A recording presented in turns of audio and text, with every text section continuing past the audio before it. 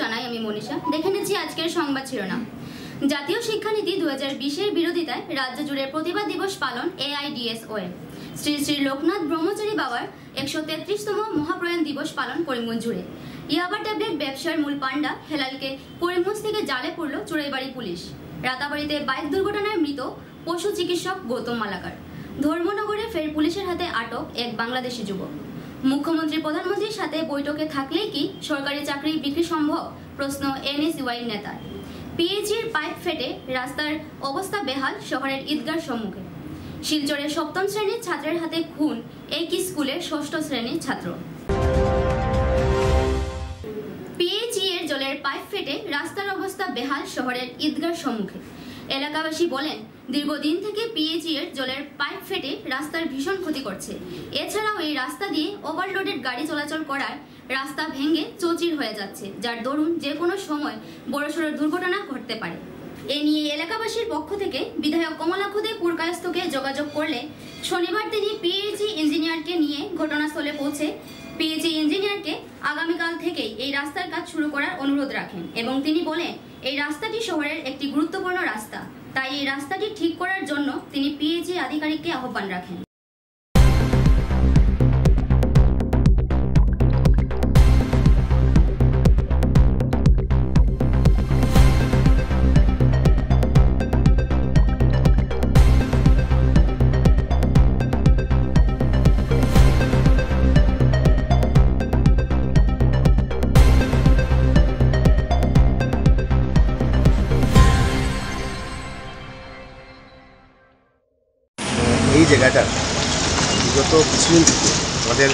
লাইনটা নষ্ট হওয়ার দরুন এই জায়গাটার ভয়ানক অবস্থা। এখানে যদি দেখা যায় যদি লোডেড গাড়ি, অনেকগুলো লোড গাড়ি যায় যায় এগুলো অনেক টন অনেক বেশি, সেটা একটা কারণ। তো আমি এখন আমাদের পিএইচির ইঞ্জিনিয়ার ডিসির সঙ্গে কথা বলি ঊর্ধ্বতম কর্তৃপক্ষের সঙ্গে কথা বলি কালকের ভিতরেই। সেটা কাজটা আরম্ভ করতে কাজ আরম্ভ করে রেজিস্ট্রেশনের কাজ শেষ করা হোক এবং অন্তত এটা আমাদের প্রধান রাস্তা প্রধান অঞ্চল মাঝে যাওয়া যাতায়াতের মানে যোগাযোগের মানে মেইন যেটা এই জায়গা যদি এই অবস্থা হয়। তাহলে তো মানুষ তো এটা মানে বিপদের সম্মুখীন হবে। মানুষের মানে মানে কিছু আর বলার থাকবে না। সেই মানে একটা পুরো কাট আপ হয়ে যাবে সব জিনিসগুলো তাই ইমিডিয়েট এগুলো সলিউশনের জন্য ইতিমধ্যে কথাবার্তা চলছে। দেখা যাক কী হয় এবং আমি মনে করি কালকে থেকে কাম শুরু হয় যদি দু চার দিন লাগবে। অন্তত এই জায়গাটা মানে শহরের মধ্যেখানে যদি এরকম হয় তাহলে সেটা লজ্জাজনক ব্যাপার হয়ে দাঁড়াবে সে নিয়ে কথাবার্তা বলছি। সোমবারে তো অফিস বন্ধ। নিজের জন্য জন্য বলবে না এটা বুঝছ? এটা সবার জন্য। হ্যাঁ এই এই স্কিমটা এই যে পাইপলাইন যেটা হয়েছে এটা হয়েছে নাইনটিন সেভেন্টিতে সেভেন্টি টুতে পাইপলাইন এটা ডিজাইন পিরিয়ড ছিল থার্টি ইয়ার্স এটা এক্সিড করে সিক্সটি ইয়ার্সে চলে গেছে। এখন আমরা ভাবছি একটা ডাইভার্সন লাইন আমাদের যে জে এমে কোনো টাউনে কোনো ফান্ড থাকে না। মিউনিসিপ্যালিটিকে আমরা রিকোয়েস্ট করেছি মিউনিসিপ্যালিটি আমাদের তাকে সাড়া দিয়েছে। অ্যাকর্ডিংলি আমরা একটা ডাইভার্সন লাইন করে ইমিডিয়েট একটা ডাইভার্সন লাইন করে এতদিন আমরা এনএইচের পারমিশনের অপেক্ষায় ছিলাম এনএইচের পারমিশন আমরা পেয়ে গেছি। আমরা একটা ডাইভার্সন লাইন করে এই পুরোনো লাইনটা আমরা অ্যাবান্ডন করে। তাহলে প্রবলেমটা আশা করি সলভ হয়ে যাবে। রাস্তা। আশা করি ফিফটিন টু ওয়ান মান্থের ভিতরে আমি কমপ্লিট হয়ে যাবে। ইয়াবা ট্যাবলেট ব্যবসায়ের মূল মাস্টারমাইন্ডকে জালে পড়ল চুড়াইবাড়ি থানার পুলিশ। গত মে মাসের ছয় তারিখ চুড়াইবাড়ি পুলিশ গোপন সূত্রের খবরের উপর ভিত্তি করে ষাট হাজার ইয়াবা ট্যাবলেট সহ তিন যুবককে আটক করে। তাদের কাছ থেকেই পুলিশ জানতে পারে যে আসামের করিমগঞ্জ জেলার নিলামবাজার থানার কায়স্থ গ্রামের সিঙ্গারিয়া গ্রামের হেলাল উদ্দিনের নিকট থেকে তারা ইয়াবা ট্যাবলেট ক্রয় করে। এই তথ্য ধরেই আঠাশ মে রাতে নিলামবাজার পুলিশের সহযোগিতায় হেলালের বাড়ি থেকে তাকে গ্রেফতার করতে সক্ষম হয়।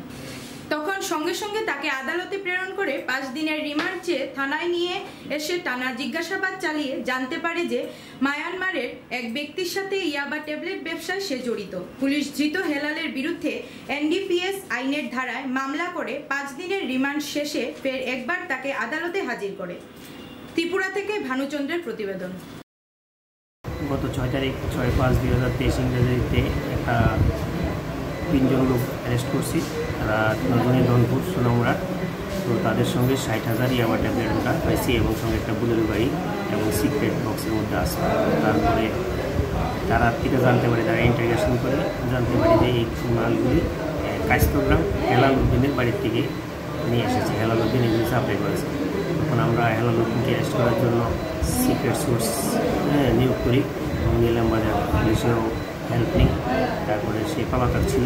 গত আড়াইশ তারিখ খবর পাই যে তারা, সে আবার ওই এলাকাতে আইসে তখন আমরা গিয়ে সেটা নিলাম বাজার পুলিশের থানাতে যোগাযোগ করে, তারপর তারা অ্যারেস্ট করে হ্যাঁ আমরা তারা থানায় নিয়ে আসি তারপরে উনত্রিশ তারিখ তারিখের করে ফরওয়ার্ড করি এবং আমরা সাত দিনে পুলিশ রিমান্ড জন্য প্রেয়ার করি। তো তারা পাঁচ দিন পুলিশ মঞ্জুর করে। তো মঞ্জুর করে আজকে তার থেকে মানে ইন্টারভিউশন করে জানতে পারি যে ঠিকই বার্মা থেকে মালগুলি নিয়ে আসতো। হ্যাঁ বার্মা। কাপু হ্যাঁ একজন লোক ওনার থেকে নিয়ে আসতো। না এগুলি সাপ্লাই দিত আমাদের রাজ্যে। তো আজকে তারা আমরা আবার ফরওয়ার্ডিং করতে আসি এবং তারা জেল জেলে পাঠানোর জন্য। হ্যাঁ প্রেয়ার করেছি। কেস নম্বরটা স্যার? কেস নাম্বার হচ্ছে সোনাইবাড়ি পিএস কেস নাম্বার উনিশ দুই হাজার তেইশ আন্ডার সেকশন একুশ হ্যাঁ ব্র্যাকেটে সি অবলিক বাইশ উইদিন ব্র্যাকেট সি অবলিক সাতাইশ উইদিন ব্র্যাকেট এ অবলিক পঁচিশ অবলিক উনত্রিশ of NDPS act nineteen eighty five নাবালক বন্ধুর হাতে খুন আরেক নাবালক। ঘটনাটি শিলচর শহরের কালেবাড়ি চর এলাকায়। ঘটনার বিবরণে জানা যায় যে, বারো বছরের এক নাবালক একই বয়সের আরেকটি নাবালককে ছাতার লাঠি দিয়ে আঘাত করে, হত্যা করে। দুজনেই শিলচরের সরকারি উচ্চতর মাধ্যমিক স্কুলের ছাত্র। স্কুলে খেলাধুলার পর সামান্য ঝগড়া থেকে মারামারির সৃষ্টি হয়, যার করুণ পরিণতি স্বরূপ মৃত্যু হয় এক নাবালকের। ঘটনাটির খবর পেয়ে পুলিশ ঘটনাস্থলে পৌঁছে নাবালক ছেলেটিকে উদ্ধার করে শিলচর মেডিকেল কলেজে পৌঁছালেও সেখানে যাবার পূর্বেই ছেলেটি মৃত্যুর কোলে ঢলে পড়ে। ঘটনার পর থেকে অভিযুক্ত ছেলেটি ও তার পরিবার পলাতক। পুলিশ তাদের খোঁজে তদন্ত চালিয়ে যাচ্ছে।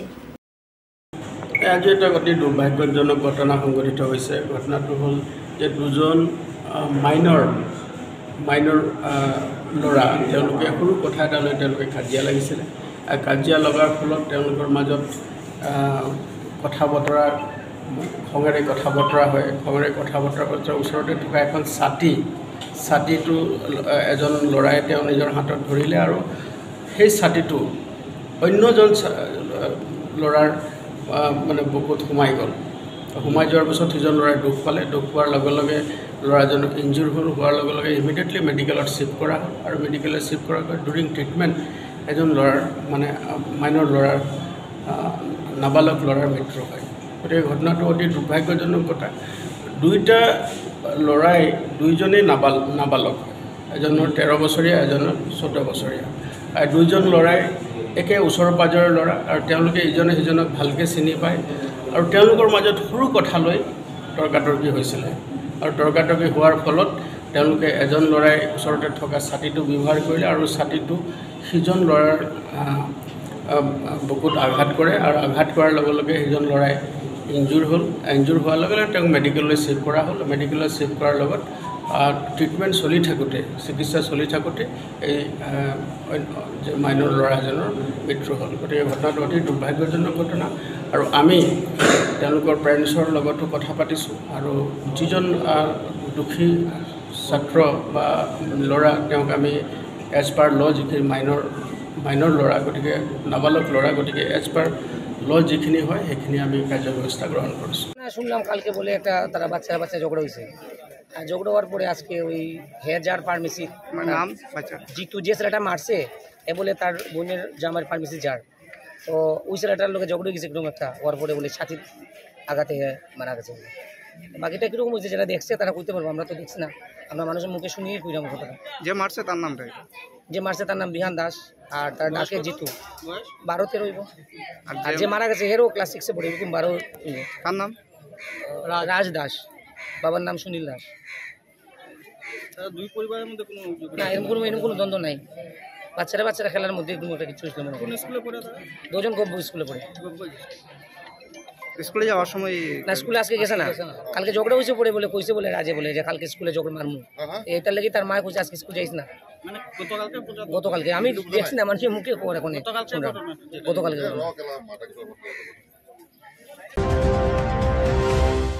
এক মর্মান্তিক পথ দুর্ঘটনায় রাতাবাড়িতে মৃত্যু এক পশু চিকিৎসকের। বাইকে করে কার্যালয়ে যাবার সময় বাইকের নিয়ন্ত্রণ হারিয়ে পাশের দেওয়ালে সজোরে ধাক্কা মারে। মূলত উদালগুড়ির বাসিন্দা পশু চিকিৎসক গৌতম মালাকার। মাত্র চার মাস পূর্বে তিনি রাতাবাড়িতে কাজে যোগ দেন। কাজে যোগদানের মাত্র চার মাসের মাথায় তার এই মর্মান্তিক মৃত্যুতে এলাকা জুড়ে শোকের ছায়া নেমে এসেছে। রামকৃষ্ণনগর থেকে শ্যামল আচার্যের প্রতিবেদন।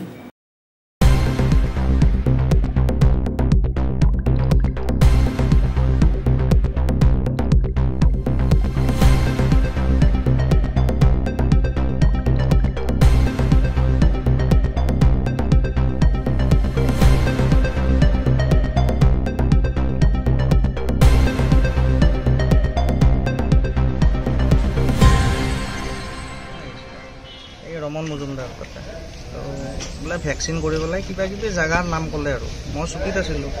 মই ৰাতি গধূলি আহি পাইছোঁ আৰু মানে। মানে কে ফোন কৰিছে ভেকচিন অংশমান মোক নহয় ইয়াক ফোন কৰিছে। মই মানে ছুটীত আছিলোঁ। মোৰ চাৰ্জত ই আছিলে।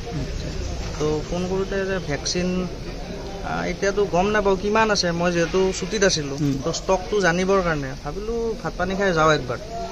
তো আমি সেনেকৈ ওলাই গ'লোঁ মানে। ধৰক চাৰে এঘাৰটা বাৰটামান বাজিব চাগে। তাৰপিছত ভাত পানী খাই ওলাই আহি থাকোঁতে মানে আপোনাৰ এটা কাৰ্ভ আছে মানে বৰষুণো দি আছিলে। শ্লিপ হৈ গ'ল মানে। শ্লিপ হৈ যোৱাৰ পিছত গম নাপাওঁ মই সিফালে চিটি গ'লোঁ কোন টাবেকত আছিলোঁ? মই আপুনি পিছপিনে আছিলে? মই পিছফালে আছিলোঁ। হেলমেটটো আছিলে? নাই নাই হেলমেট নাছিল। তাৰপিছত পৰি গ'লোঁ তিনি চাৰি মিনিট পিছত দেখিলোঁ যে সি সিফালে পৰি আছে মই কিবাকৈ উঠি দেখিলোঁ মাথাৰ পৰা মানে পূৰা ব্লাড ওলাই আছে মানে। টচটো মাৰি চালোঁ মানে সিও চিও এনেকৈ ওলাই আছে ই পিছফালে আহি আছে হয় মই পিছফালে আছোঁ মই দেখোঁ যে দাদা পৰি আছে তাতে তেখেতে পৰি আছে তাতে মই লগালগ এম্বুলেঞ্চক ফোন কৰোঁ এম্বুলেঞ্চো লগা নাই তাৰপিছত লাগ যাব one zero' one double zero' one double zero' phone কৰিলোঁ মই ডি বি ডি বি ছাৰক ইনফৰ্ম কৰিলোঁ এনেকৈ আপোনাৰ নাম মোৰ নাম ডক্টৰ ৰমন মই ভিঅ' হয় বাজাৰঘাট বাজাৰঘাটে। ভেটেনাৰী ডিছপেঞ্চাৰী তাৰপিছত মই আমি ডিষ্ট্ৰিক্ট অফিচাৰক ফোন কৰিলোঁ তেখেতলোকে এম্বুলেঞ্চ পঠালে জিৰ' পুলিচ আহিলে পুলিচে মোৰ বাইকখন ৰিকভাৰী কৰিলে তাৰ পৰা আৰু এম্বুলেঞ্চ আহি পিনি ইয়াতে আনিলে। ঠিক আছে। জাতীয় শিক্ষানীতি দু হাজার বিশের বিরোধিতায় রাজ্য জুড়ে প্রতিবাদ দিবস পালন এআইডিএসওয়ে গুয়াহাটি বিশ্ববিদ্যালয়ে অসম সরকার যখন আসামে জাতীয় শিক্ষানীতি দুই হাজার বিশ আনুষ্ঠানিকভাবে আসামে লাগু করছে একই সময় রাজ্য জুড়ে এর বিরুদ্ধে প্রতিবাদ দিবস পালন করছে এআইডিএসও। করিমগঞ্জেও সরকারের এই সিদ্ধান্তের বিরুদ্ধে প্রতিবাদের নামে ছাত্র সংগঠন এআইডিএসও। আন্দোলন থেকে প্রতিবাদকারীরা বলেন, করোনার সময় বর্তমান সরকার এই ছাত্রবিরোধী শিক্ষানীতি লাগু করে। এই শিক্ষানীতির ফলে ছাত্ররা শৈশবেই দুর্বল হয়ে পড়বে। শিক্ষাকে ব্যক্তিগত ও ব্যবসায়ীকরণের জন্য এই শিক্ষানীতি লাগু করা হচ্ছে। ছাত্র জীবনের প্রথম ধাপ মাধ্যমিক পরীক্ষা তুলে দিয়ে এবং নবম শ্রেণি থেকে সেমিস্টার প্রথা এনে ছাত্রদের জীবন নিয়ে ছিনিমিনি খেলছে বর্তমান সরকার। এআইডিএসও এর বিরুদ্ধে দেশের ছাত্র সমাজকে সাথে নিয়ে বৃহত্তর আন্দোলনে ঝাঁপাবে বলে তারা জানান।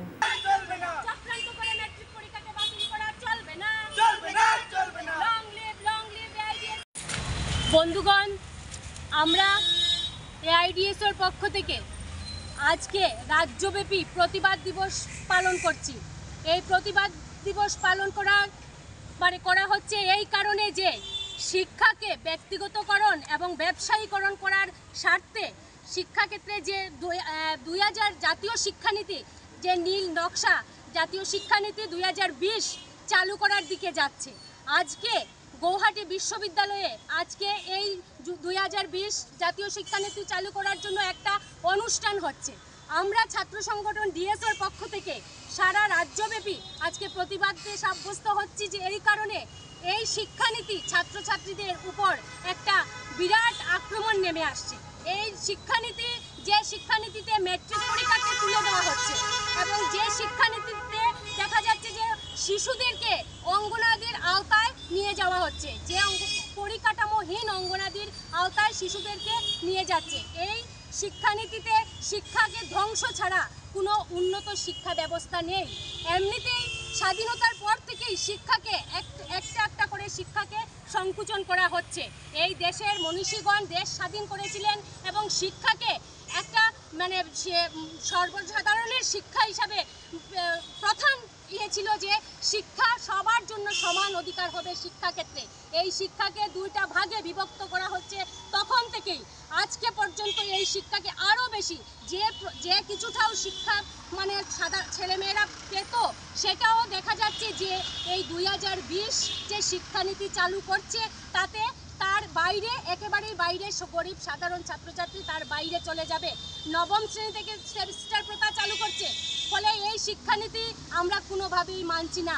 সেই তখন থেকেই, সেই করোনার সময়ে অত্যন্ত কৌশল করে এই শিক্ষানীতি চালু করেছিল। তাই তখন থেকে আমরা ছাত্র সংগঠন ডিএসও সারা ভারতবর্ষব্যাপী আমরা আন্দোলন সাব্যস্ত করছি, আন্দোলন সংগঠিত করছি এবং আজকেও আমরা আজকে যে চালু করছে আসাম সরকার, এই শিক্ষানীতির যে আজকে দু হাজার বিশ চালু করছে গুয়াহাটি বিশ্ববিদ্যালয়তে অনুষ্ঠান হচ্ছে, আমরা তার প্রতিবাদ করছি এবং সারা দেশের ছাত্র সমাজকে এগিয়ে আসার আহ্বান রাখছি। এই আমাদের বক্তব্য। এখন আমরা একটা প্রতিলিপি পুরাবো এখানে। ধর্মনগর থেকে ফের আটক হলো এক বাংলাদেশি যুবক। ত্রিপুরার দ্বিতীয় বৃহত্তম শহর ধর্মনগরকে যেন যাতায়াতের করিডোর হিসাবে ব্যবহার করছে বাংলাদেশি ও বাংলাদেশে থাকা রোহিঙ্গারা। প্রায়ই ধর্মনগরে পুলিশের হাতে আটকা পড়ছে অবৈধ বাংলাদেশিরা।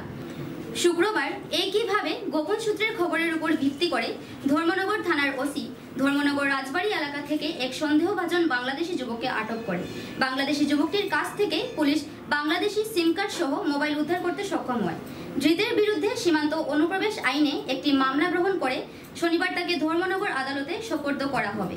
ত্রিপুরা থেকে ভানুচন্দ্রের প্রতিবেদন।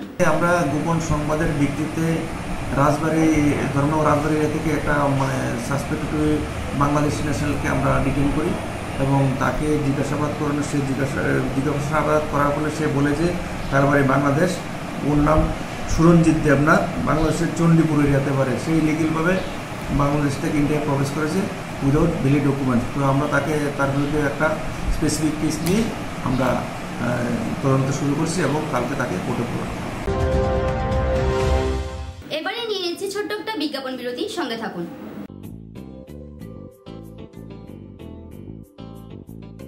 বিভিন্ন আধুনিক ও আকর্ষণীয় টাইলসের সম্ভার নিয়ে উপস্থিত প্রিয়া টাইলস।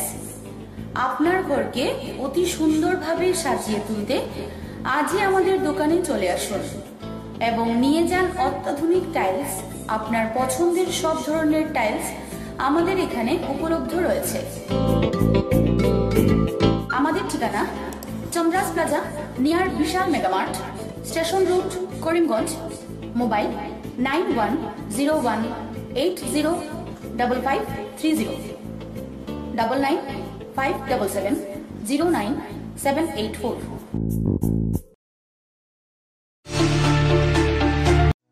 আপনি কি শ্বাসকষ্ট, বুকে ব্যথা, পিঠে ও কোমরে যন্ত্রণা, হাতে পায়ে ঝিনঝিন করা, মাথা ব্যথা সহ হার্ট বাইপাস সার্জারি, কিডনিজনিত বিভিন্ন রোগে ভুগছেন? তাহলে আর চিন্তা নেই।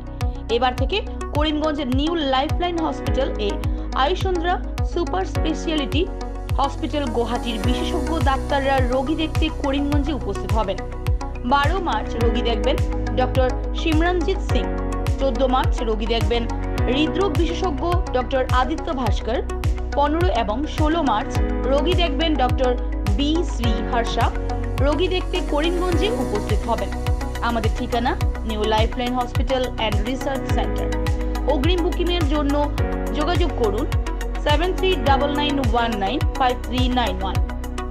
Nine six seven double eight zero six eight nine six. Nine eight five four one three five four seven zero. Ananda Sangbad Ananda Sangbad. করিমগঞ্জে এই প্রথম থ্রিডি সিটি স্ক্যানের সুবিধা নিয়ে এলো Karimganj health city, Banamali road, Karimganj. পুরো শরীর three D city স্ক্যানের সুবিধা এখন পাচ্ছেন করিমগঞ্জে। আন্তর্জাতিকভাবে বিখ্যাত ডাক্তার দ্বারা রিপোর্ট। থ্রিডি সিটি স্ক্যানের জন্য যোগাযোগ করুন। Telephone zero three eight four three two six zero seven zero five. Mobile nine six seven eight zero three three zero four seven.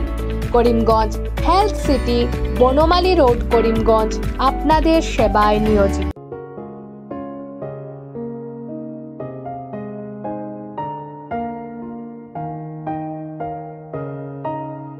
চিকিৎসা সেবায় নতুনত্ব নিয়ে হাজির নিউ লাইফলাইন হাসপাতাল। অত্যাধুনিক প্রযুক্তিতে এখানে pinhole surgery, gallbladder, appendix surgery করা হয়। শিলচর মেডিকেল কলেজের সার্জারি বিভাগের অতিরিক্ত professor doctor R C Shyam সার্জারিগুলি করবেন। তাছাড়া তিনি প্রতি শনিবার বিকেল তিনটে থেকে ওপিডিতে রোগী দেখবেন। রয়েছেন শিশুরোগ বিশেষজ্ঞ ডক্টর গুলজার হোসেনও।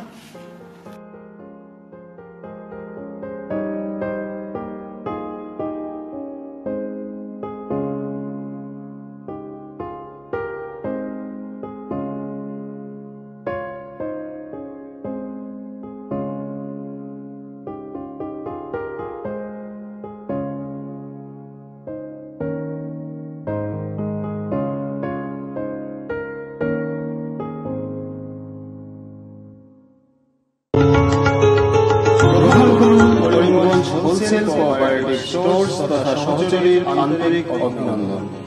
করিমগঞ্জ হোলসেল স্টোর্সের নিয়ন্ত্রণাধীন স্টেশন রোডস্থ বিভাগীয় বিপণী সহচরী নতুন উদ্যোগে সমৃদ্ধ হয়ে জনগণের সেবায় এগিয়ে এসেছে। তুলনামূলক কম মূল্যে নিত্য প্রয়োজনীয় দ্রব্য সামগ্রীর যোগান অব্যাহত রাখতে সহচরী কর্তৃপক্ষ বদ্ধপরিকর। জেলার সমবায় আন্দোলনকে জোরদার করে তোলার ক্ষেত্রে করিমগঞ্জ হোলসেল স্টোর্স তথা সহযোগী কর্তৃপক্ষ সকলের আন্তরিক ও সক্রিয় সহযোগিতা নতুন আঙ্গিকে বাস্তব পরিকল্পনা নিয়ে সহযোগী স্টেশন রোড, করিমগঞ্জ। আপনাদের সেবায় সদা প্রস্তুত। সাথে বৈঠকে থাকলেই কি চাকরি বিক্রি করা যায়? প্রশ্ন এনএসইউআই নেতা শুভজিৎ চক্রবর্তী। শনিবার এক সংবাদ সম্মেলনে তিনি এক কল রেকর্ডিং শুনিয়ে বলেন, বিজেপির সংখ্যালঘু নেতা আনসারুল হক যেভাবে মুখ্যমন্ত্রী প্রধানমন্ত্রীর নাম নিয়ে চাকরি বিক্রির কথা বলছেন, তাতে সন্দেহের সৃষ্টি হওয়াটা স্বাভাবিক। আসামের মুখ্যমন্ত্রী দুর্নীতি মুক্ত আসামের কথা বললেও ওনার নাম নিয়ে চাকরি বিক্রির চেষ্টায় মত্ত তার সদলীয় কর্মীরা। তাই তিনি বিজেপি নেতাদের দুর্নীতির জন্য কংগ্রেসকে দোষারোপ করা ছেড়ে মুখ্যমন্ত্রীর ঘনিষ্ঠ নেতাদের দুর্নীতি নিয়ে মুখ খোলার জন্য আহ্বান রাখেন। যে ব্যাপারটা নিয়ে আজকে আমার সংবাদ মাধ্যমের সামনে আসা সেটা হলো অত্যন্ত আশ্চর্যজনকভাবে। আমি গতকালকে সোশ্যাল মিডিয়া যখন স্ক্রল করছিলাম, তখন দেখেছি একটা কল রেকর্ড ভাইরাল হয়েছে। সে কল রেকর্ডে দেখা গেছে, বিজেপির হাইলাকান্দি সংখ্যালঘু নেতা। সামথিং আনসারুল না কি নাম উনি ওভার ফোন একজন ভদ্রমহিলার সাথে কথা বলছে। আমি সিএমওর লোকে ঘুরি। আমি পিএমওর মিটিংও থাকি। আমার লাগে চাকরি দেওয়াটা কোনো বড় ব্যাপার নাই। দিস ওয়াজ দ্য মানে words he used when I listened the call recording through, in social media. আমার কথাটা হচ্ছে এটা। বিজেপির মুখ্যমন্ত্রী সুপ্রিমো বলে থাকেন যে, দুর্নীতিমুক্ত আসাম, দুর্নীতিমুক্ত ভারত, নরেন্দ্র মোদীজি তৈরি করছেন, দুর্নীতিমুক্ত আসাম তৈরি করছেন আমাদের মাননীয় মুখ্যমন্ত্রী হেমন্ত বিশ্ব শর্মা মহাশয়। উনি বলে থাকেন। কিন্তু এই যে ব্যাপারটা যেটা হচ্ছে যেটা এটা কি দুর্নীতি হচ্ছে না? আজকে ওপেন টু অল সে বলছে, আমি সিএম লোকে ঘুরি, আমি চাকরি দিলেই আমি পিএমওর মিটিংও থাকি, আমি চাকরি দিলেই মানে what is all this what is all this তার মানে কি আমরা, আমাদেরকে ধরে নিতে হবে যে চাকরি যা যা হচ্ছে, যা যা কম্পিটিটিভ এক্সাম হচ্ছে, সব কিছুতে দুর্নীতি হচ্ছে। আমি তো তাদের কথার উপরে ভিত্তি করে বলছি। Here is the call record আমি আপনার হোয়াটসঅ্যাপে দিয়ে দেবো। কল রেকর্ডটা শুনে নেবেন সে কি বলেছে? সার তার উক্তিটা কি ছিল? While he was talking to a lady over phone তার উক্তিটা কি ছিল? তো ধিক্কার জানাই এই সমস্ত মানসিকতা। মুখ্যমন্ত্রী বলছেন, দুর্নীতিমুক্ত। এদিকে উনার দলদের সংখ্যালঘু নেতা, ফ্রন্টের হেড হাইলাকান্দি সে দুর্নীতি করছে। ভিতরে ভিতরে দুর্নীতি ঠিকই চলছে। কংগ্রেসে দুর্নীতি করেছে, কংগ্রেসের কালচার নিয়ে কথা বলেন নানান সাংসদ, শিলচারের সাংসদ কংগ্রেসের কংগ্রেসের দুর্নীতি নিয়ে কথা বলেন। এই যে কথাটা যে বলল, কেন এখন পর্যন্ত বিজেপির কোনো নেতার প্রতিক্রিয়া আমরা দেখলাম না? ওয়াই কোনো কোনো বিধায়ক কারোর প্রতিক্রিয়া আমরা দেখলাম না। What is the reason behind it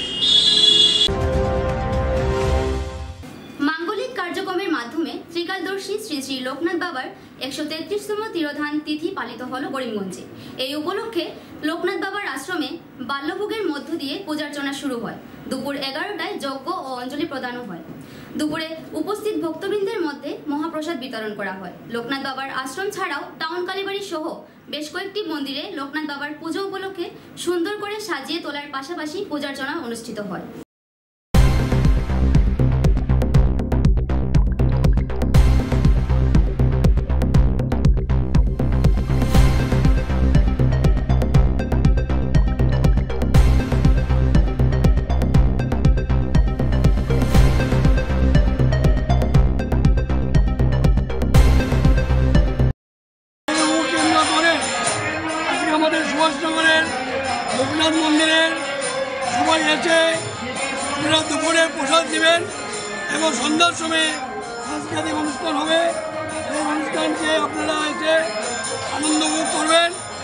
আমাদের পরের দিন চার তারিখ অধীন সাংস্কৃতিক সন্ধ্যা আছে। সেই সন্ধ্যা এসে আপনি আনন্দ করে দিয়ে এই মন্দিরের কমিটিকে উৎসাহিত করবেন। কারণ আপনারা না যদি আছেন, এই মন্দিরের কমিটি উৎসাহিত হবে না। এর আগে সর্বপ্রথম করিমগঞ্জ পৌরসভার আমি ধন্যবাদ জানাই। এই যে জমিটা, এই জমি পৌরসভার জমি, এই যেহেতু পৌরসভার জমি দেওয়া জন্য পৌরসভার সমস্ত এক্স চেয়ারম্যান এক্স কমিশনার বর্তমান কমিশনার সবাইকে করিমগঞ্জের এই মন্দির লোকনা মন্দির থেকে ওনাদেরকে ধন্যবাদ জানাই। আজকে এই জমিটা পাওয়ার জন্য আজকে আমরা বাবা লোকনাথ। আজ উনিশে জ্যৈষ্ঠ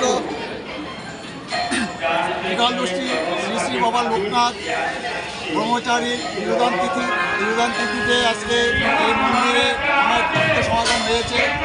আমরা আশা করছি ভক্তরা যাতে সমানভাবে বাবার দর্শন পান এবং অঞ্জলি দিতে পারেন সর্বশেষে এখান থেকে মহাপ্রসাদ দিয়ে বাড়ি তাই আমি ভক্তদের অনুরোধ করছি, তারা এই মন্দিরে আসুন।